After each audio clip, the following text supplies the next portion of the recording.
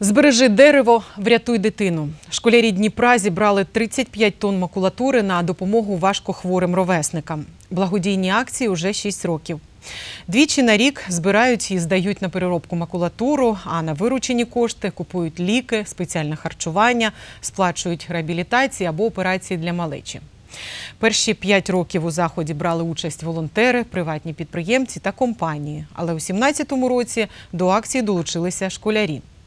За 6 місяців 63 школи міста зібрали 35 тонн макулатури.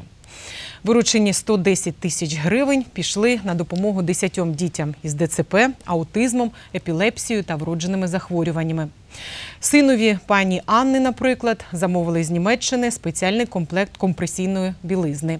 Без неї хлопець не може вести звичайний спосіб життя.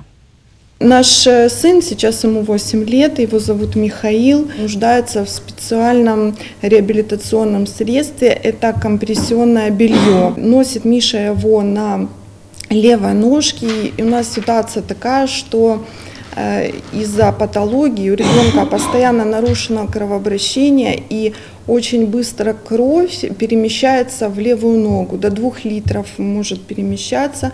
И ребенок просто не то, что не может ходить, он теряет сознание. А благодаря э, постоянному ношению компрессионного белья, которое помогает выталкивать из конечности эту кровь, Миша в этом компрессионном белье каждый день ходит в школу. Мы помогли одному ребенку маленькому. Но я знаю, что мы ее спасли, но она не слышит.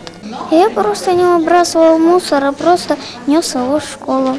Разные книжки, э, разные коробки. Пришлось очень много молока, макулатуры принести, чтобы спасти людей.